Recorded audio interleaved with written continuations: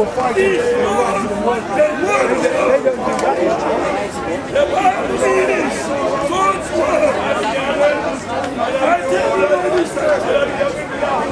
this country was built on the foundation of the Bible.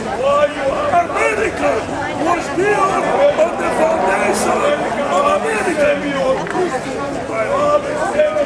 When you go to Africa today, a lot of people are converted from Islam and they are turning to Christianity.